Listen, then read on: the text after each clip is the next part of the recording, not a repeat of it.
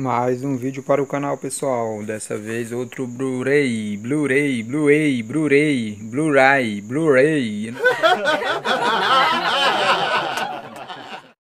Blu-ray, eu não sei chamar esse nome pessoal, não sei chamar esse nome, Blu-ray.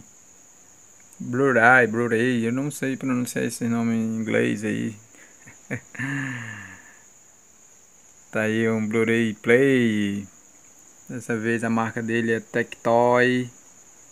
Tá aí pessoal, Tectoy, Tectoy, modelo dele DBR 750. E também o defeito é esse pessoal, LED standby. É piscando. É, piscando tão fraco que não dá nem para perceber, né pessoal? Deixa eu ver aqui se eu consigo Apaguei a luz aí, pessoal, vocês conseguem ver melhor.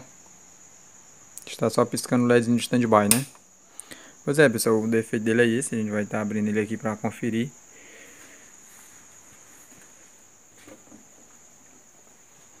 Conferir o que, que pode estar tá acontecendo de defeito, né? Que está causando esse defeito, na verdade. Vou estar tá abrindo ele aqui mostrando né, para vocês aí o mostrando aí por dentro aí o aparelho, tá certo? Aqui pessoal, o aparelho já aberto. A gente já vem diretamente aqui para a parte da fonte, verificar possível capacitor é, estufado aqui, mas nesse caso aqui não tem, tá certo pessoal? Os capacitores estão todos normais, né? Pelo menos aparentemente, né? É, aqui na placa principal também parece estar tá tudo ok, né? Os componentes. A gente vai estar tá verificando, fazendo um teste aqui agora, né? Passando aqui o multímetro e ver o que que tá marcando de tensão, se a tensão está oscilando, como é que é, né? Esse modelo aqui não é aquele modelo que que nem aquele lá que eu mostrei da Philips, né? Aquele outro lado tem a saída de áudio, né? Amplificador. Esse daqui não tem amplificador. Certo, pessoal?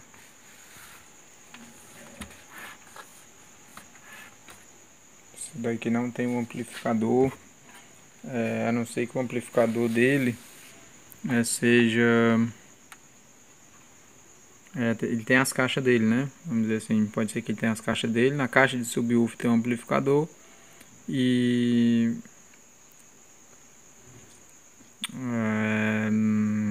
dela saia as outras caixas menor e também receba aqui o áudio.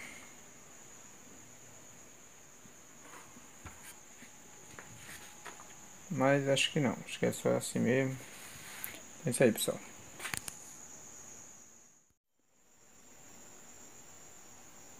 É pessoal aqui pelos testes que eu fiz é É problema mesmo de fonte, tá certo, pessoal?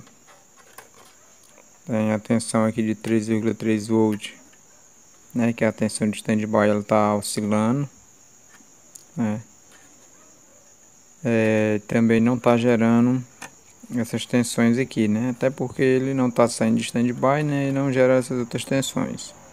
Essas outras tensões só vai gerar é, quando o standby normalizar e ele mandar a tensão normal lá para a placa, né? A placa manda o comando para cá e ativa as outras extensões aqui da fonte.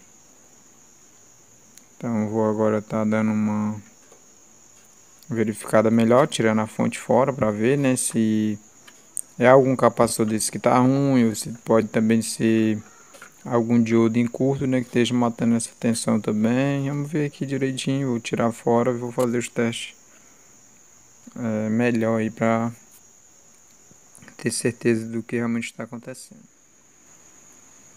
Olha só pessoal, a causa do problema, pessoal. Deixa eu mostrar aqui para vocês o que que estava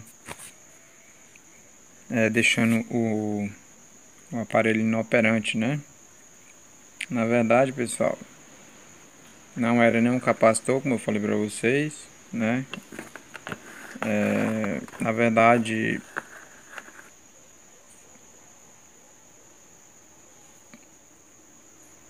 era esse diodo, pessoal. Esse diodo que estava em curto. Tá certo? Que é a posição dele. Essa é a posição dele, tá certo, pessoal? Então, a tensão de 3,3 volts ela é originada a partir desses diodos aqui e o que que acontece e aqui como esses dois diodos aqui são em paralelo eles suportaram eles estão bom. Que entrou em curto foi esse outro aqui por ser sozinho. Então ele entrou em curto é, ficava é, gerando a tensão lá né? De, de 3,3 volts né? Tentando gerar e ficava piscando porque era justamente detectado um curto aqui no, nas outras saídas da fonte, na, na outra saída de tensão na verdade. Então, ao localizar esse diodo em curto, né, que é o SR, a referência dele é o SR é 3100, né, a referência dele. E fiz a substituição do mesmo. Já testei as tensões tudo normalizado. Agora eu vou só colocar né parafusar a fonte lá no local dela e fazer os testes e mostrar para vocês aí o aparelho funcionando aí já já olha só pessoal o aparelho já funcionando aí ó Acabei de ligar, montei tudo aí, certo? Ó, funcionando perfeitamente, tá certo? O defeito realmente era só aquele diodo em curto. E o aparelho já funcionando perfeitamente aí, pessoal.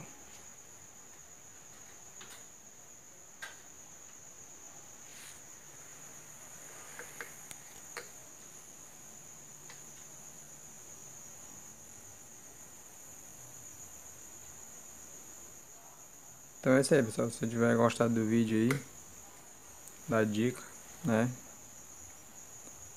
Compartilhe o vídeo aí com os amigos, né? Primeiramente deixa o like, se você não for inscrito se inscreva, ative o sino das notificações. E é isso aí galera, até mais. Valeu.